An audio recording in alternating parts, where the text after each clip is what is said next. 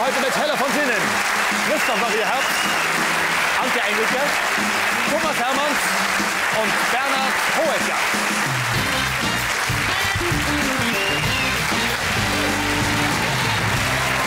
Genialer Nebengründenabend, die Stimmung ist großartig und äh, wir freuen uns, dass Sie alle da sind. Es wird lustig, ich verspreche es Ihnen. Und Sie werden heute wieder viel lernen. Und vielleicht wird der eine oder andere von Ihnen heute 500 Euro bekommen. Ich werde alles dafür tun, dass es so sein wird. Und die Damen und Herren werden alles dafür tun, dass es nicht so sein wird. Und wir schauen mal, wer am Schluss die Nase vorne hat. Nicht wahr, Christoph Maria? Das ist aber eine andere Spielshow, über die Da wir hast jetzt du nicht recht, reden wollen. du kleine Schnecke. Es geht los. Wie hast du mich genannt? Ist egal jetzt. Andreas Wenninger kommt aus Hartheim, meine Damen und Herren. Das liegt im Odenwald, das wissen wir alle. Und Andreas Wenninger möchte gerne wissen, was ist ein Forellenpuff?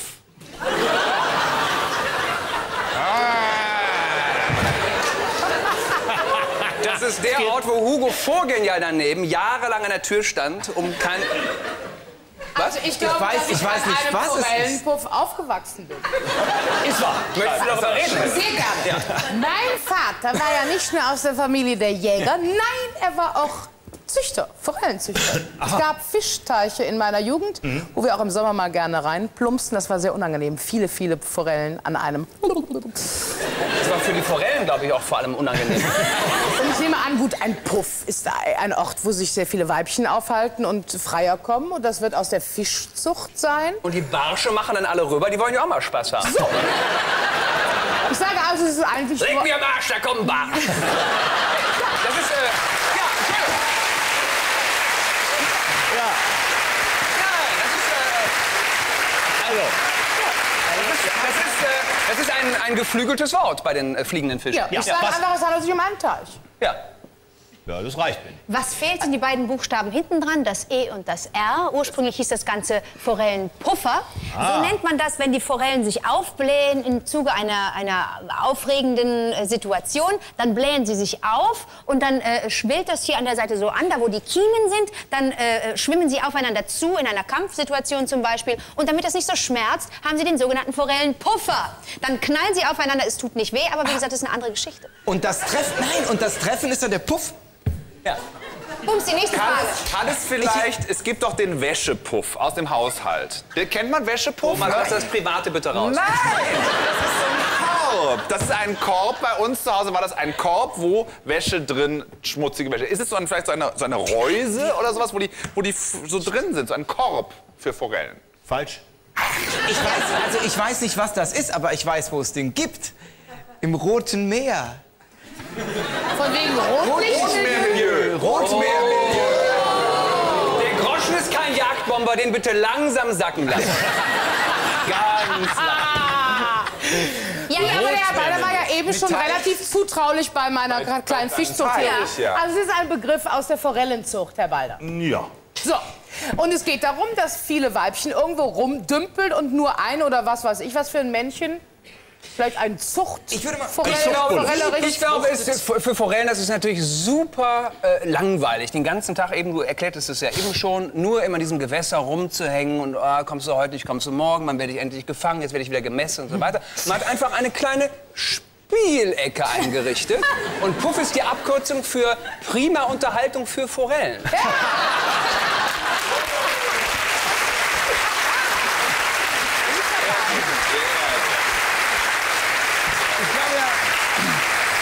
Ich würde ja jetzt mal tippen, ich meine, ich frage mich, wie befruchtet sich eigentlich so eine Forelle? Gut, da habe ich keine Ahnung Keiner von. weiß, du weißt. Nein, ich vermute einfach mal, Forellen legen einfach wie alle Fische ihre Eier irgendwo hin. Dann kommt, Barsch. irgendein ein Fischmann hinterher So wie du das auch machst. und schwärmt da mal so quer drüber. So. Jetzt glaube ich, dass der Forellenpuff eine spezielle Einrichtung in einer Zuchtstation ist, ähm, wo äh, einfach nur Eier liegen und man dann äh, Fremdforellensperma nimmt und das einfach so reinschüttet. Also Befruchtungsbecken, die so. Wie gewinnt man denn das Fremdforellen? ja, man Ich nimmt so eine meine, dass Forelle, man die dreht den Forellen- um und haut so lange, bis das. Nein, Ja, man schmeißt den einfach ein paar Playboys ins Wasser. Und dann Und dann kommen die ganz von selber. Erotik. Mit Lachsfisch. Kann man, sogar richtig, kann man die nicht richtig melken, diese Forellen? Kann man die nicht so am Bauch massieren und dann kommt das Ejakulat da rausgespritzt? Ehrlich? das Ist das so? Ich weiß nicht, frage Ich Sie. habe keine Ahnung, ich habe das noch nie gemacht. Also ich Aber wenn man Aber deine, aber deine Frau hat erzählt, Bei Hella, was unterscheidet dann die Forelle vom Mann, wenn ich... Eben. also, also bei Herrn Hoiger zum beim Beispiel die Thema Schuppen. Fischerotik jetzt gelandet. Das glaube ich nicht. Wir sind beim Thema Fischerotik. Wir, wir reden darüber, Ihr seid beim wie, Thema Fischerotik, wie ja. Forellen ejakulieren. Ist das jetzt das Level, wo wir angekommen sind? Okay. Forellen. Es ist alles ganz furchtbar. Ja, Forellenpuff ist an sich die Frage. es gibt ja auch Swingerclubs Ja. und die machen dann schon mal, die machen dann schon mal ein flottes äh, Forellenquintett. Ja. Zum Beispiel. Ja, oder im, im Puff sind viele alkoholisiert. Forelle blau, ist das vielleicht eine richtige Richtung? Jetzt haben wir's. Wir's, Ich frage mich ja, Ja. wenn es den Forellenpuff gibt, gibt es dann auch die Forellenpuffmutter? Sowas. Gibt es den Forellenstrich? Ich Das ist, dann, das ist dann die Forelle-Müllerin-Art. Gibt es den Forellenfreier, FF? Selbstverständlich. Kommt daher vielleicht der Begriff aus dem FF? Ja, aber genau daher. Da kommt es doch her. Andere Frage, aber wir haben es gewusst. Ich werde es euch sagen. Wir geben Antworten auf lauter Fragen, die nicht gestellt wurden. Das ist das Schöne. Das ist das Gute an der Sendung, dass man immer was lernt, auch wenn man es gar nicht will. Ja. Sehr schön. Forellenpuff. Ich, sag, ich sag's euch. Also das äh, mit der Forellenzucht war ja nicht schlecht. Forellenpuff. Ein umzäunter Bereich, in dem man gegen Geld für einen bestimmten Zeitraum so oft darf, wie man will. Nämlich angeln. Und zwar Forellen. Man zahlt, man zahlt jetzt, was weiß ich, äh, 20 Euro und da kann man dann eine Stunde angeln. Und wenn die Stunde vorbei ist, zahlt man, ist wie im Puff, zahlt man wieder 20 Euro. Deswegen heißt das Ding Forellenpuff und deswegen kriegt Andreas Wenninger jetzt 500 Euro. Gratulation.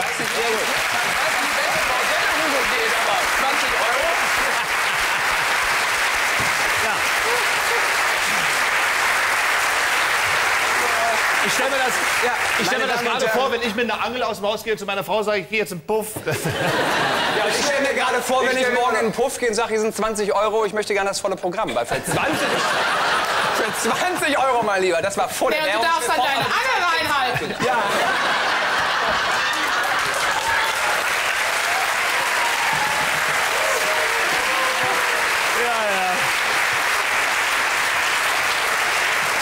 Aber ich darf noch mal fragen, es handelt sich wirklich um Fisch, Fi- Fisch, Fisch, ist klar geworden. Es handelt sich um Fischteiche, Ja. wo schon die drin wohnen. Ja, ja. Das ist ja nicht sehr sportlich, wenn dann Leute ihre Angel Nein, reinhalten. ist nicht sehr sportlich, das ist für, ja, für für, Bordellgänger. für Doofe, ja. Ich finde generell es eigentlich Angeln super albern auch, dass sie so einen, so einen sexistischen Ausdruck dafür nehmen. Puff ist da super albern Ja. eigentlich. Hätte man auch Bordell nehmen Puff Bordell, ja. Aber ich habe trotzdem die ganze Zeit so eine kleine Animierforelle vor Augen, die am Teig steht und sagt, So eine "Willst du noch Stange." ein Piccolo. Ja, Thomas, das sind deine Fantasien, mit denen musst du selber zurecht. Oder die Fische, die machen sich so wie beim Table Dance, dann docken die sich so an die Angeln an. Uh.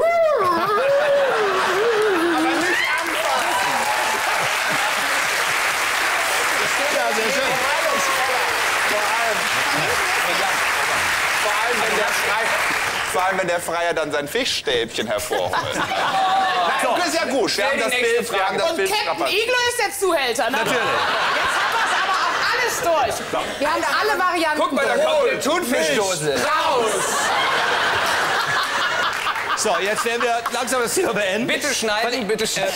Martin Stein kommt aus Coburg und möchte Folgendes wissen. Warum bekommen die Bediensteten des Vatikan ein doppeltes Gehalt, wenn der Papst stirbt? Weil sie es dann geschafft haben?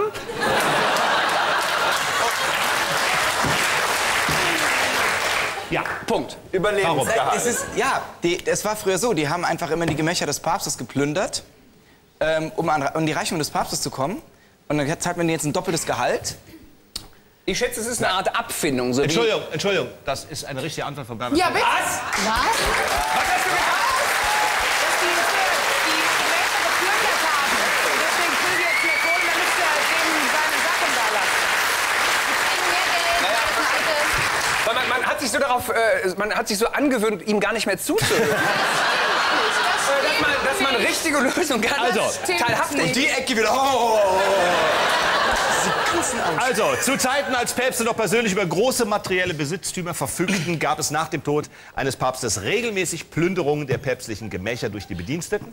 Um solchen Übergriffen vorzubeugen, wurde den Vatikanangestellten doppeltes Gehalt gezahlt, wenn ein Papst starb. Diesen Brauch gibt es auch noch heute, obwohl der Papst heutzutage ganz arm ist, weil er nämlich äh, kein Gehalt mehr kriegt. Denn heutzutage Ist sterben die Päpste ja auch nicht mehr.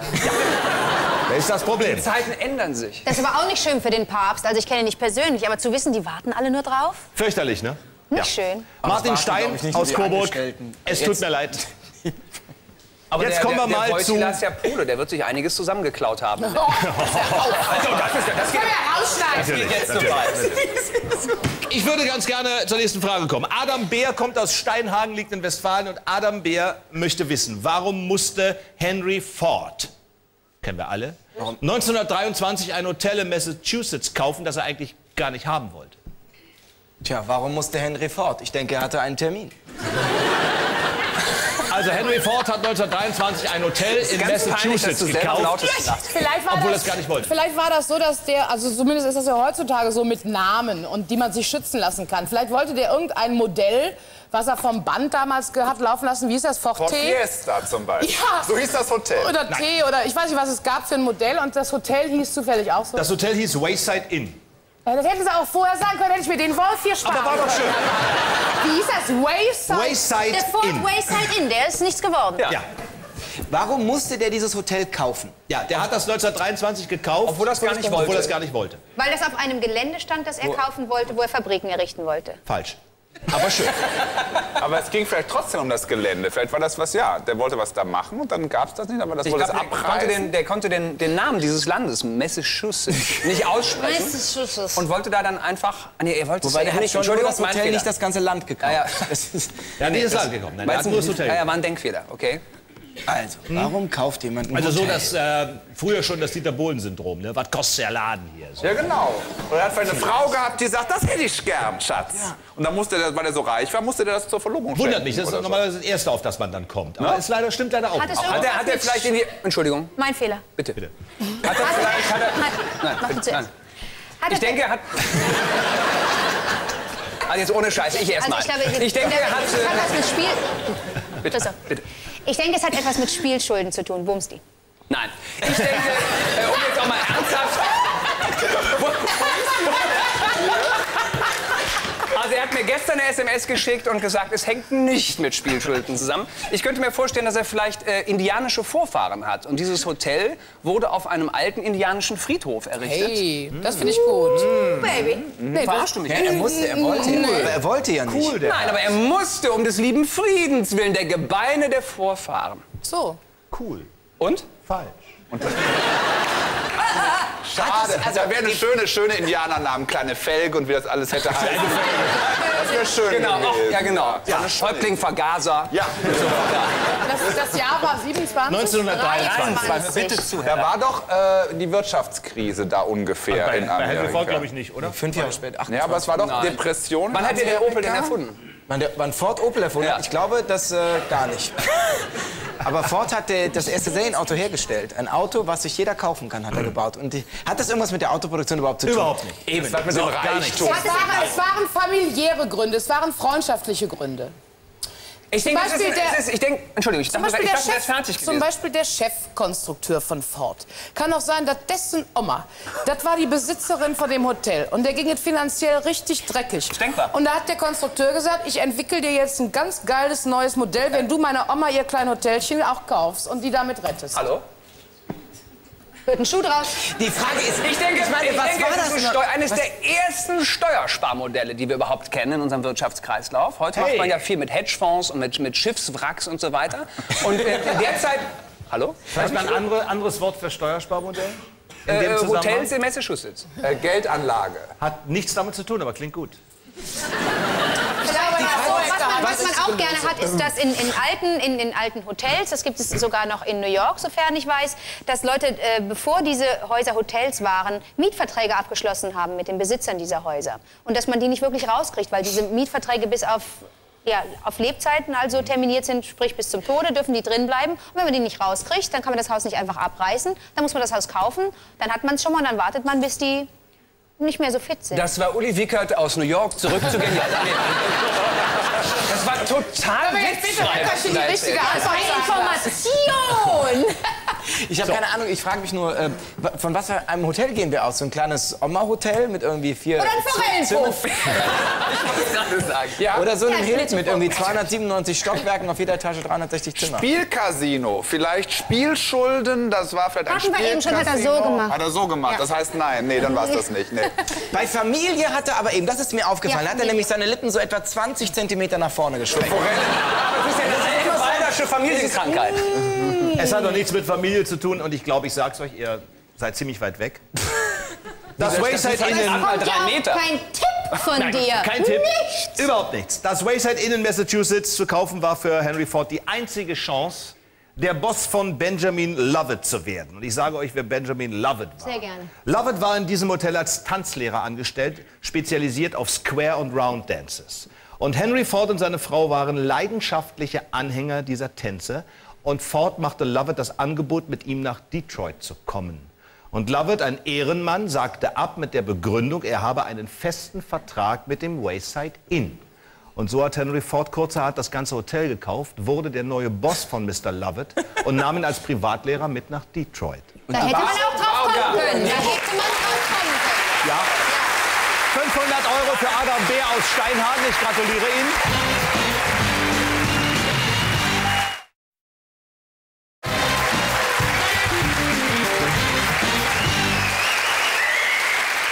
Kommen zu Judith Meyer. Sie wohnt in Hannover und hat folgende Frage. Warum jagen Kapuzineraffen Tausendfüßler, die sie dann wie einen Joint im Kreis rumgehen lassen? Das frage ich mich seit Jahren. Dann wirst du heute die Antwort Ja, erfahren. und ich freue mich drauf. Ich glaube, Wie witzig, Kapuzineraffen, Kapuzineraffen jagen, jagen Tausendfüßler, sitzen im Kreis zusammen, die Ja. Äffchen, nehmen diesen Tausendfüßler, machen irgendetwas mit dem und geben den dann weiter. Exakt. die lassen sich die Die Ohren... rauchen die aber Nein, die nicht. Nein. lassen die... Das wäre ja ganz furchtbar. Jetzt ohne Witz, ich glaube, die haben ja, was machen denn Tausendfüßler, wenn sie gefangen werden? Ganz- die, werden- ganz die, die, die, die, die sind hektisch und kribbeln rum. Also entweder sie nutzen das zur Massage, zu einer kleinen erotischen, oder äh, sie lassen sich damit die Ohren putzen, meine Lieben. Es klingt jetzt ekelhafter, als es ist, Nein, aber aber es ist so. Ja, aber Kinder, der Tausendfüßler heißt auch nicht umsonst Tausendfüßler. Und die werden dann nach für nach die kleinen Beinchen, das ist halt Ja. eine besondere Das Köstlichkeit, die kleinen Sie liebt Beinchen mich, sie liebt mich nicht, sie liebt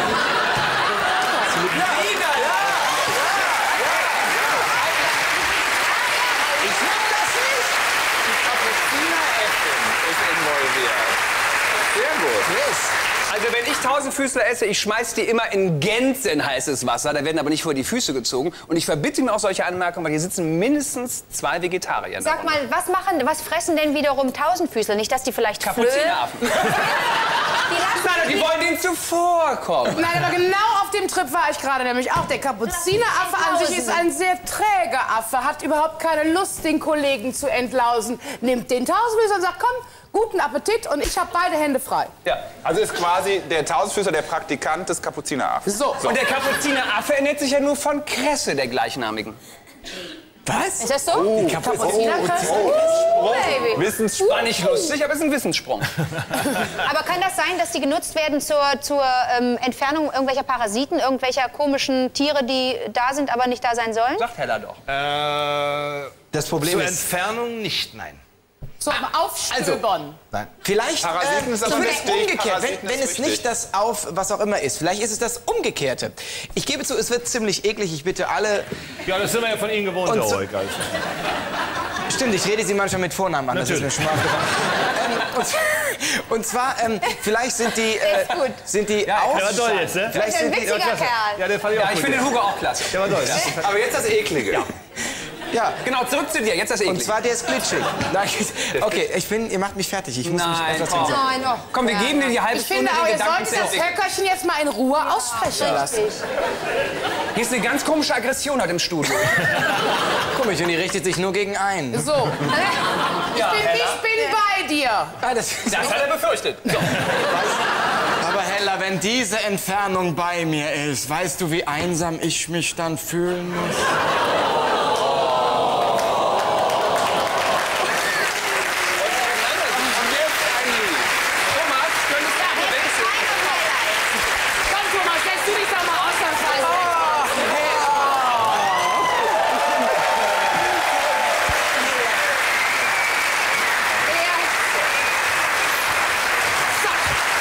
Und jetzt erzählt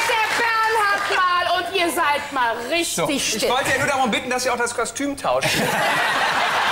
So, und jetzt erzähl uns mal das Eklige. Ich glaube, der. der Tausendfüßler. Ich ist eine völlig andere Sendung. Der Tausend, ich glaube, der Tausendfüßler, der kotet aus. So. Und das desinfiziert. Also der offen- kackt. Ja, und Ja, dann das, sagen Sie es doch. und, das Henna, kommst du bitte sofort wieder hier rüber. und das desinfiziert Wunden. Und äh, das ist im Prinzip so die Bepanthen für Kapuziner. Das finde ich geil. Das ist eine total geile Erklärung. Und wie, die stimmt nicht, Balder. Was ist denn dann? Was? Was ist denn dann? Dann setze ich mich wieder dahin. Die stimmt nicht. Stimmt überhaupt Nee. nicht. Nee. Thomas. Dann tausch bitte wieder. Ich beschütze ihn auch. Nein, ich beschütze ihn auch. Ich Also. beschütze ihn auch. Was könnte, denn, was könnte denn so ein Kapuzineraffe mit so einem Tausendfüßler sonst noch so? Musik machen. Musik. Ja, Nicht schlecht. die können. Genau, in so einer Walt Disney-Produktion. Gibt er den an alle weiter oder nur so an bestimmte? Nee, an die, die da sitzen. An alle würde wahrscheinlich Ja, Jahrhunderte ja, das dauern. ist. Nein, weil ich hatte mir sowas überlegt, vielleicht ist das so eine Art Paarungsritual. Also so man, wir geben ja Blumen, die gut riechen, wie zum Beispiel Rosen. So, und so ein, so, ja, und so ein Kapuziner. Ach ja, Leute, ihr kennt die nicht. Die sind, und zwar, das geht so, die nehmen sich so einen, ähm, die nehmen sich so einen Tausendfüßler, reiben den sich unter den Achselsamen. Ja, und dann.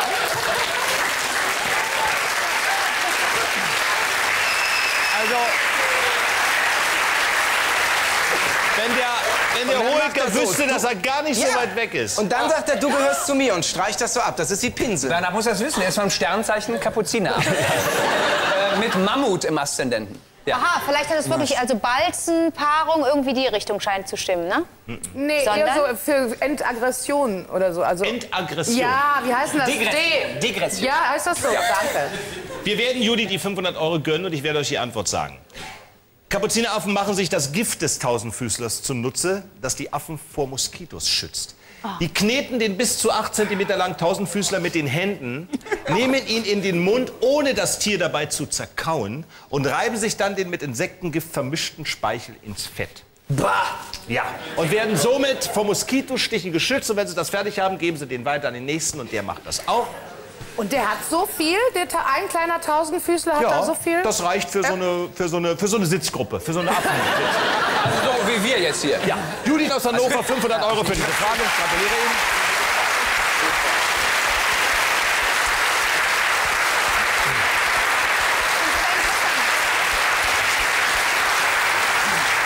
Wir haben hier im Publikum einen Herrn sitzen, er kommt aus Oberhausen und heißt Siegfried Haberkamp. Wo ist er?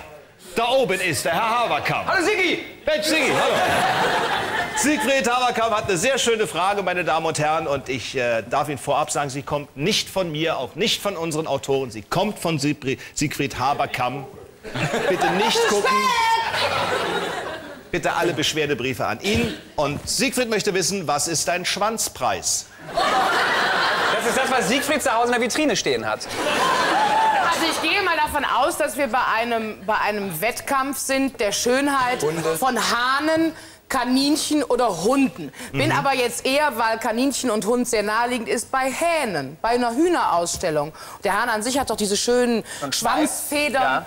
Oh, aber wenn der so doof guckt, der Nein, Mann, ich dann bin ich... Ich gucke sehr, weg. ich gucke sehr interessiert jetzt. Gut, also es ist ein Preis für den schönsten Schweif eines Hahnes bei einer Hahnenausstellung. Na also, nein. Sag mal, kurz mal, kurz mal für uns. Äh, wird das Wort so geschrieben, wie wir vermuten? Schwanz wie der Ja, mit- Schweif ja, ja. Und. Preis, Preis wie die Kosten. Ja. Ja. Was? Nein, nicht, dass Das es ist auch, es ist im- auch sicher, es ist nicht die Währung im männlichen Forellenpuff. Das ist auch. Aber ich bin schon wieder in Fels und Firn und ich bin schon wieder in der Jagd. Und ich weiß, dass es damals so zum Beispiel, wenn der Fuchs an sich gerne, wenn Tollwut war im Wald, dann haben die Jäger viel die Füchse abgeknallt und äh, zum Beweis für die Stadt gab's irgendwie, haben sie die Schwänze abgemacht, dann haben sie irgendwie Kohle gekriegt pro Fuchs oder pro Hüsse, Hüsse, Hüsse. Also es ist der Schweif eines Tieres und äh, als Prämie gibt's einen Preis, wenn der Jäger den Schwanz abgibt. Hat Ich nichts glaube, mit der Jagd zu Es tun. gab, mal, Aber es geht um Schwänze von Tieren und es gibt Geld für die Schwänze von Tieren. Nein. Es gab mal eine Sendung, die hieß Der Preis ist heiß. Ja. Und ich Wir denke, reden nicht von Harry Weinfurt, bitte nicht. Nein, aber ich denke, dass äh, Beate Use da ein nicht jugendfreies neues Format rausgemacht hat. Der Schwanzpreis ist heiß. Und das läuft nur im, im Erwachsenenkanal, Also ich in würde mich von- ausgewählten Hotels in Privat Massachusetts. bei Christoph. Ja. Ich würde mich von dieser Richtung mal total entfernen. Von der Richtung Beate Use oder der Richtung Tiere? Kinder, ich komme auch nicht aus meiner Haut. Tiere ist gut, aber Beate So. Use ist Ja. Ganz Also es geht nicht um den Schwan. Also ich es gibt so Länder, wo irgendwie Heuschreckenplagen dadurch ähm, oder besiegt werden sollen, indem äh, man für jede gesammelte Heuschrecke irgendwie so 10 Cent bekommt oder indische Drachme oder irgendwie sowas. Aber das wurde ja schon abgelehnt in Verbindung mit den Hühnern. Gut, Aber es die sind- Stimmung ist im Keller. Aber es sind tierische Schwänze. Ja. Also, es sind äh, ich- tierische Schwänze. so, Wer also- hat denn... Wer, Ich frage jetzt Tier noch mal hat denn zweimal ganz dreist. Geht es um Prämien? Geht es um Prämien für Schwänze? Nein. Nein.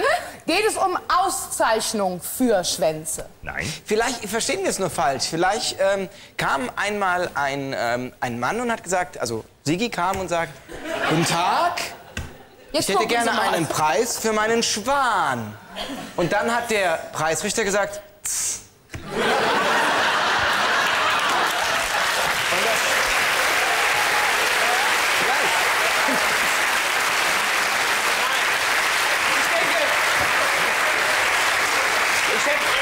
Ich schätze, ich, schätze, der arme, arme Siegfried hat einen, einen ganz seltenen S-Fehler. Der muss an, an jedes Ende eines jeden Satzes muss der sein S hängen. Schwanpreis. Ja. Und hat dann irgendwann gesagt, äh, welchen Preis zahlen Sie für meinen Schwanz? Wie wäre es denn mit, wie wäre es denn mit Marathonlauf? Und es ist so eine, es ist so ein Trostpreis. Man sagte auch, da kommt noch so ein Schwanz Leute hinterher.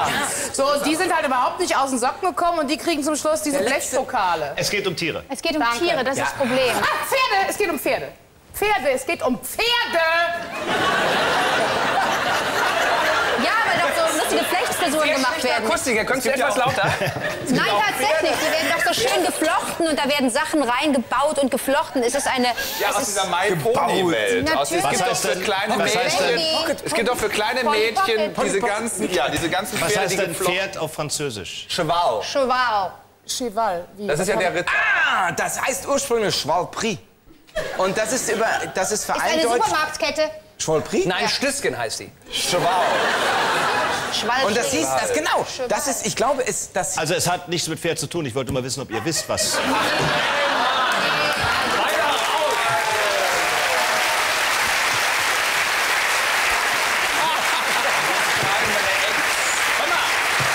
Aber klug sind wir, ne? Komm mal, denke mal dran, wir sind fünf. Du bist gerade mal einer. Ist ja gut. Also, Also- es hat nichts mit Pferden zu tun. Aber es hat mit Tieren zu tun. So weit sind wir doch, Hatten oder? wir, war die Jagd schon ausgeschlossen worden, Hella? Ja, mit Jagd, denn die auch also sel- einfach, dass selten- sie, dass sie die, wenn etwas gejagt wird und es, sind irgendwelche Tiere, die, die praktisch unzählig sind oder unzählbar sind vielmehr und dass man dann nicht die einzelnen Tiere nimmt, hinlegt, wiegt oder was auch immer, sondern man nimmt die Dinger beim Schwanz und zählt nur die Schwänze und dann Ja, weiß oder, man... oder so wie es ein Kopfgeld gibt, gibt es auch einen Schwanzpreis. Bei besonders seltenen Tieren beispielsweise, äh, wo man, wo, vielleicht gibt es bestimmte Kulturkreise, wo der Schwanz, oder, oder darf ich kurz ausreden? Nee, finde ich aber gut. Wie ist es denn mit Kirschnerei? Ich darf also nicht es gibt ausreden. doch Pelzmäntel. Ich meine, wir finden alle Pelz peinlich. Aber es gibt doch so zum Beispiel Ich Hermelin. habe Pelzunterwäsche an gerade. Ja, ist gut, danke. So- Behalt sie bitte jetzt. Ich finde das noch nicht so peinlich. Nein, aber wie wäre es denn mit der Kirschnerei? Ja, Pelz, ja. Schwanzpreis, wenn jetzt so Hermelinkragen nur aus den Schwänzen von einem Marder oder Hermelin hergestellt werden und es hat was damit. Ach Gott, es hat gar nichts damit zu tun. Siegfried, wollen wir sie erlösen? Ja? Ich finde es an der Zeit, der soll es tun. Komm einfach mal einen Moment zu uns runter. Wir sind Also- auch ganz lieb zu dir. Es geht um Tiere, das äh, haben wir schon gesagt. Und ich sage euch, was ein Schwanzpreis ist. Einen Schwanzpreis bekommt man beim Brieftaubenwettfliegen. Klar. Ja. Und zwar belohnt werden hiermit nicht die Sieger, sondern die letzten platzierten Tauben. Das war Schwanz, der Also Schwanzpreis, weil es die letzte Taube ist, die einen Preis erhält. Wenn jetzt zum Beispiel so ein Wettfliegen passiert und man sagt, okay, man vergibt zehn Preise, dann kommt die, bekommt die Taube, die als Zehnte reinkommt und mit dem Popo da diese Zielfluglinie durchfliegt, kriegt den sogenannten. Ich hätte mir den Sigi mal besser angucken Ja. sollen, dann wäre ich auf Taubenzüchter Ja. gekommen. Ja. Siegfried, 500 Euro. Ich gratuliere Ihnen.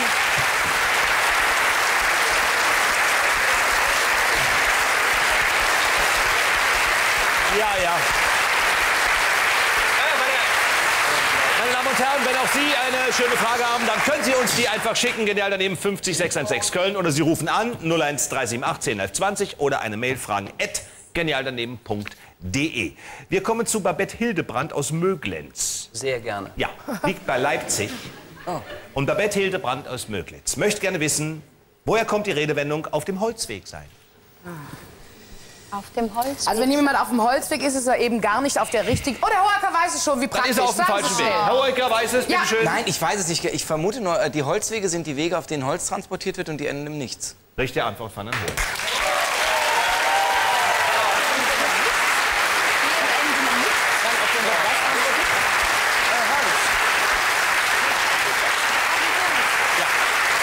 Also Holzwege äh, sind Wege, die von Holzfällern angelegt werden zum Abtransport der Hölzer und äh, ausschließlich nur für diesen Abtransport von Bäumen bestimmt sind. Und diese Holzwege enden mitten im Wald, eben da, wo der letzte Baum gefällt wird. Und wenn man da auf diesem Holzweg ist, dann ist man weg, verloren. Ist man auf dem falschen ist Weg. ja super. Dann ist der Holzweg. Hervorragend. Ja, ich hab's Die mir fast gedacht, Holz, Babette, also aber ist ist naja gut. Herr Hoeker, es tut mir leid. Julia Baunemann kommt aus Leun und möchte wissen, was ist ein Spagatprofessor? Ein Spagatprofessor, bestimmt ein Das ist bestimmt an so einer russischen Elite-Uni, wo diese ganzen kleinen Turnerinnen gezüchtet und gequält werden. Ja? Erinnert uns an Olga Korbut und ihre Schwestern aus meiner Generation. das Hieß die Korbut oder Skorbut? Nee, die hieß, glaube ich, Korbut. Korbut, ja, glaub ich. ja. Olga Korbut. Und die sehen doch immer so ein bisschen unglücklich aus. Wenn sie, und das ist der Professor in Novosibirsk, der die da trainiert, damit die am Schwebebalken noch lächeln, obwohl sie bis hier voll Schmerz stehen. Nicht schlecht. Ich glaube, es ist eine Heuschreckenart. Oh, Hallo? oh. Wie dies? Da darf ich nichts zu sagen.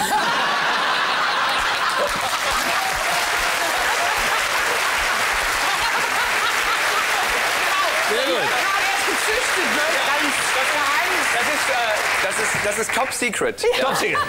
Gut. Also ist das vielleicht an, an einer, man sagte, wenn jemand einen Spagat kann, auch im übertragenen Sinne, dass der sehr konträre Dinge vielleicht beherrscht. Ist es vielleicht an einer Universität ein Professor, der jetzt erstmal vielleicht nicht so bei nicht so naheliegenden Fächern in beiden eine Professur hat, wie zum Beispiel, was weiß ich, Latein und Sinologie Kommunikationswissenschaften oder Bowling so. Sinologie und Bowling zum ja, Beispiel. Sim- Sinologie und Bowling finde ich gut. Professurfach? Ja, in Massachusetts. In ja. Massachusetts schon. Ja, oder das zeigt, ich finde, aber ich finde finde den Gedanken super, dass das irgendwas mit, mit, mit Akademikern zu tun hat. Denke ich auch. Das läuft ja, äh, das liegt ja auch nah wegen dem Professor. So, ja. Das ist vielleicht jemand, der Ja, Medizin studiert, sich damit eigentlich verschrieben hat, dem, dem Wohle des menschlichen Körpers und des menschlichen Geistes zu dienen, sich aber trotzdem gleichzeitig korrumpieren lässt von der pharmazeutischen Industrie, weil der beispielsweise, die beispielsweise sein Studium finanziert und er schafft den Spagat zwischen dem menschlichen Wohl und dem vielen, vielen Geld. Das ist totaler Blödsinn, was ich gerade Totaler. Blödsinn. Aber sehr, sehr gut erklärt jetzt auch. Ja. ja. Doch, also ich Ja. bin auch ergriffen jetzt. Nee, ist klar. Ja. Gut, geht es denn um Akademiker, Herr Balder? Professor? Weil vielleicht hat Anke ja recht und es ist aus dem Tierreich. Ich finde, solche, solche Namen trifft man immer wieder im Tierreich an, finde gerade bei den wieder. Insekten. Ja. Immer wieder. Aber manchmal kann es auch eine Apfelsorte sein. Es gibt auch die, die lustigsten Apfelsorten. Zum Beispiel? Spagat-Tarzan. Äh, Sp- Spaga äh, Spargel-Tarzan. weil, Äh, Sp- Spagat-Professor zum Beispiel. Das ist eine sehr seltene Apfelsorte vom Und du bist Bodensee. äh, Pomologe. ich bin Pomologe. Ja, absolut. Das sind Apfelspezialisten. Natürlich, Wir sollen auch was weiß. Das war lernen aber nicht heute. die Frage. Nein. Ja. Nein, es hat nichts mit äh, Gemüse, Es Obst ist eine Beleidigung. Es ist eine ist Beleidigung. eine Beleidigung, das ist auch schön. Wenn man irgendwo reingeht und sagt, Sie Spagatprofessor, Professor, dann ist das also unter all den Sportpädagogen, um nochmal da wieder darauf zurückzukommen, die größte Beleidigung. Weil wenn man zum Beispiel jetzt Zehnkampfprofessor sagen würde, dann würde man sich geschmeichelt. Ich frage jetzt mal, äh, Julia, äh, soll ich ein bisschen helfen, Julia? Was meinen Sie? Ist das vielleicht ein Brückenbauer? Juli hat genickt. Julia hat genickt, dann sage ich euch, dass es sich tatsächlich um einen Professor handelt. Die Frage ist, was Also für ein, ein, Professor? richtig, einen hab- habilitierten... Äh, Spagatprofessor. Ein Spagatprofessor. Und es hat nichts mit Brückenbau zu tun. Aber Was mit ist- Frage ist das- Fächer Ja, ich auch diese Fachrichtungen, dass bei den Fachrichtungen eine totale Diskrepanz herrscht oder dass er etwas anpeilt, wenn er seine, äh, wenn er seine Professur erlangt und dann kurzfristig doch etwas ganz anderes macht. Also, Zum Beispiel Taxifahren. nein, aber, aber Zwei ein, Fächer, die überhaupt nicht zusammenpassen. Feminismus und Heavy Metal unterrichtet er zum Beispiel. Das passt ja nicht zusammen. Warum passt das nicht zusammen? das will ich auch mal wissen. Selbst Ich glaube, es gibt so Professoren, die haben irgendwie Mathematik studiert, machen aber die Professur dann in Philosophie. Und dass das ein Spagatprofessor ist, der seine Professur in Habit Vielleicht ist es keine so eine richtige Uni, vielleicht ist es so eine komische, wo man ganz viel Geld bezahlt und jeder wird Professor. Man wird doch oft auch, es gibt doch diese Akademien, die stimmen gar nicht. Das sind also da gibst du, ja, da ist fährst, du, fährst du auf die Dominikanische Republik, Wie, zahlst wie, 10 Euro. wie ist es denn, wenn das einfach ein Professor ist, der an zwei verschiedenen Universitäten äh, unterrichtet? Nämlich einmal in Hannover Oder und einmal in Berlin. Bisexualität. Bisexualität. Ist es ein bisexueller Professor? Oder ist es so, dass der, dass der, so wie wir an der Schule auch Ersatzlehrer hatten, dass er an, an einer Universität... Oh, Hattet ihr Ersatz? Le er, er, ich denke, es ist ein guter Zeitpunkt, mal drüber zu reden. Dass also so ein Spagatprofessor, äh, so, so, ja, einfach so mehrere... Ich weiß nicht, wohin das führt. Würde- würde es dass euch- er mehrere verschiedene würde es euch- so Design nennt Wir sind und kurz auch davor, dass einen Tipp kompetent gibt. Lass ist. Hugo kurz einen Tipp Würde es euch helfen, wenn ich euch die richtige Lösung sage? Ganz letzter das- jämmerlicher Versuch von mir, vielleicht ein Professor, der sowohl an der Universität wie auch an einer normalen Schule unterrichtet. Es ist alles schön gedacht, es ist viel zu kompliziert, es ist viel einfacher, es ist, um nicht zu sagen, das ist so einfach, dass keiner drauf kommt. Und deswegen sage ich es euch. Ein Spagatprofessor, so nennt man im Amtsdeutsch einen Hochschulprofessor, der nicht in der Stadt wohnt, an deren Uni er einen Lehrstuhl hat. Aber Angebote viel lustiger. Viel Lust, ja, viel besser, ändert nichts an der Tatsache, dass das richtig ist und Julia Baunemann aus Leun um 500 Euro reicher ist. Ich gratuliere Ihnen.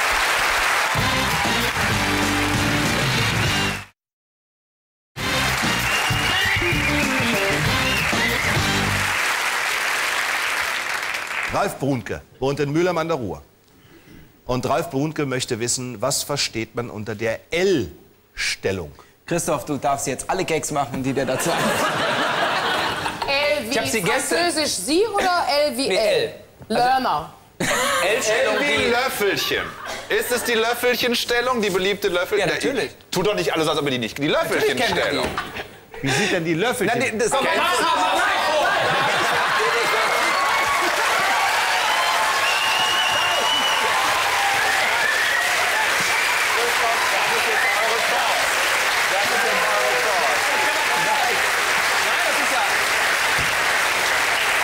Also ich, mache die Löffelchenstellung gerne. Das ist ja was ganz Kuscheliges. Ja. Das ist ja gar nicht. Das ist, wenn man so im Bett liegt, so wie zwei kleine Löffelchen. Das kann, ich, das kann man doch mal machen. Es gibt größere Löffel, es gibt Esslöffel, es kleinere. gibt Teelöffel, es gibt Espresso-Löffel. Und wenn der Löffel dann mit der Gabel...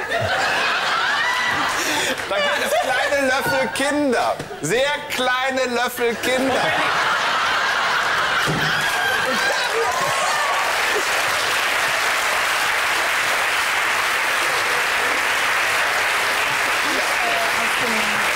Und wenn die artig sind, dann kriegen die was hinter die. Löffel. Wir hatten doch neulich mal die L-Stellung. A-Stellung. Was ist denn die L-Stellung? Arschstellung Ist das nicht was von, äh, von, von, Die drei für äh, die vor drei Stellung. glaube, ich hätte Skispringen, Skispringen, die kommen dann so an und zwar knicken die ihre Beine so im rechten Winkel nach vorne.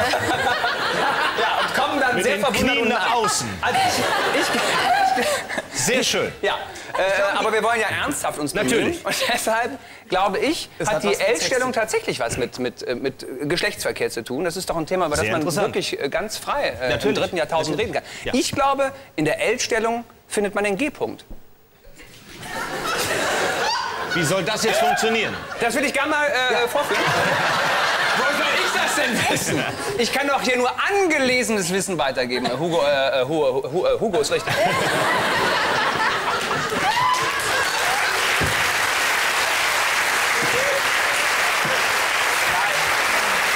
Also, wir kommen ja keinen Schritt weiter irgendwie. Ich habe Das ist ja, zweieinhalb Jahre Zivildienst auf einer Psychiatrie gemacht. Sowas ist mir nie begegnet. Das ist unglaublich. Bist du sicher, dass du da nicht eingesessen hast?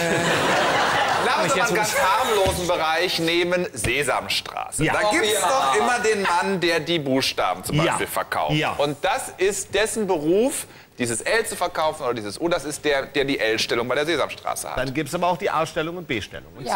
C-Stellung und Ja. D-Stellung. Ja, das sind ganz viele, die 24. teilen sich den Job. 24, genau. Das ist ja heute auch wichtig, dass mehrere Leute auch mal zusammen sind in Position. Ne? Sind wir in einem Super auf der Waldorfschule gewesen. Ne?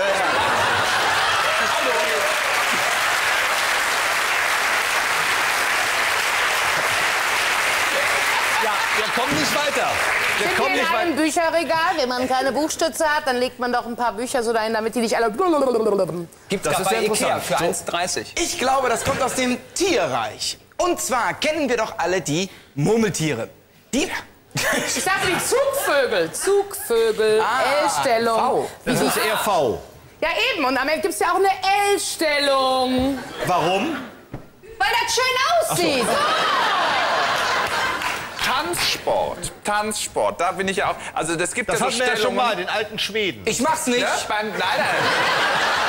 Aber man sagt ja zum Beispiel beim Tanzsport, beim Paso Doble, da ist die Frau das Tuch. So habe ich das ja gelernt. Die Frau ist das Tuch, der Mann ist der Torero. Beim, beim Tango gibt es das tango Was ist die Frau? Ein rotes Tuch. Das stimmt so nicht, weil wir können ja schon einkaufen gehen. Aber, weil, vielleicht ist die L-Stellung zum Beispiel beim Lambada, dieses wo man, Lambada, wo man sich so innen unten verhakt bis zum Geschlechtsverkehr. Und das heißt L-Stellung. Tanzsport, allgemein. Vielleicht kommt die ja auch, die L-Stellung aus dem Chinesischen, heißt in Wirklichkeit R-Stellung. Aber das ist Der war- nicht komisch. Kann doch überhaupt nicht drüber lachen. mir wirklich eine Antwort zu geben. Jetzt Und du wirklich kommst mit so einem nicht so ein Scheiß, ja? Das soll doch Spaß Und machen. hier. Spaß hier. Was haben Sie denn vorher gesagt? Ich kam ja nicht zum Antworten. Handwerk. Handwerk, sagte ich. Die Art, wie man Dachziegel oder wie man Hölzer Nenn nicht die Art, wie man Dachziegel, aber Handwerk ist falsch.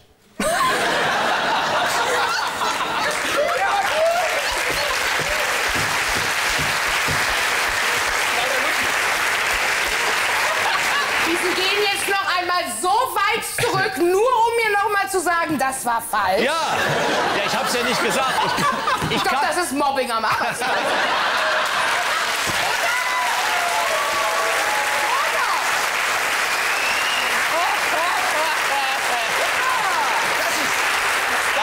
also, Ich weiß es nicht.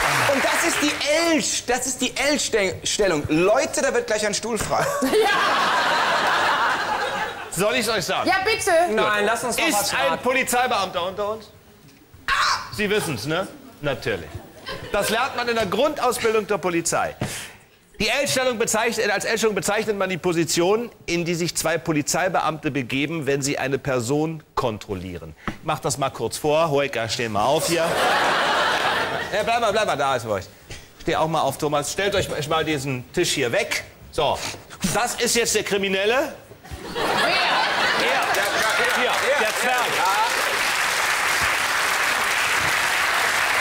Genau, dann steht einer hier und einer da. Ja, und der Kriminelle stellt sich in so einem Fall lieber so rum. Damit Genau. er sich das nicht Und das bezeichnet man in der Polizeisprache als L-Stellung. Das lernt man natürlich sofort in der Grundausbildung, das wissen wir. Eine sehr schöne Frage. Ralf Brunke aus Mülheim, 500 Euro für Sie. Ich gratuliere Ihnen. Bernd Birkenfeld aus Berlin möchte gerne wissen, warum ist die Empfängeradresse bei abonnierten Zeitschriften verkehrt herum, verkehrt herum auf der Vorderseite? Ja, aber was ja viel schlimmer ist, es ist immer auf dem Datum. Ich kann nie sehen, von wann, von wann die Zeitung ist, weil meine Adresse immer auf dem... Ich bin so dankbar für diese Frage. Ich zeig's liebe euch mal. Post. Ich habe mal, ich hab mal eine mitgebracht. Das ist also ein Stern. Ich hätte auch einen Bund oder einen anderen nehmen können, völlig wurscht. Und die sind immer so drauf, immer verkehrt rum. Ja, das Schlimmste ist Warum? bei, bei den Zeitschriften, die ich zu Hause habe, ist, ist immer eine Adresse drauf und ein Name, die mit meiner Adresse und meinem Namen gar nichts zu tun hat. Das wundert mich. Na, weil wegen der Zustellung. Der, der, zu, der diese Abo-Dinger zustellt, der Ja. muss die ja aus der, aus der Tasche ziehen zum Beispiel. Oder aus Ja. irgendeinem Behälter oder Karton. Ja. Und die werden so rum reingestapelt. Und damit er sieht, wer, das muss irgendwie, so rum ist es offensichtlich einfacher, die rauszuziehen. Ja, aber warum sind die denn dann Ja, gib nicht da auf, oben? Du, Ja, weil du dann ist kannst der ja pass auf, der zugeklebt man ist, sieht nicht auf, du hast... Es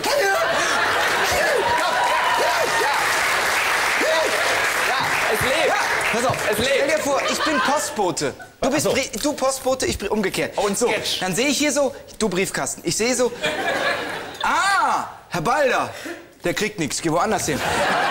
Dann sehe ich hier, ah, das ist für den Herrn Balder, dann lege ich das so in den Briefkasten. Dann kommt der Herr Balder, nimmt es so heraus und sieht, hey, ist für mich. So, und jetzt du. Also, im Prinzip äh, habt das schon gesagt, außer Hoeke habt das richtig gesagt. es stimmt, dass es äh, für den Briefträger so angeordnet ist, dass er, wenn er reingreift, einfach sieht, um wen es sich handelt. Gut, das erklärt Und nicht, dass es stimmt, dass man das nicht hier oben raufkleben darf, weil sich die Zeitschriften verbitten, Ja, ist übers Logo zu über das Logo Ja. zu kleben. Deswegen ist es eine richtige Antwort, meine Damen und Herren. Das war großartig, hätte ich nicht gedacht. Sehr, sehr gut.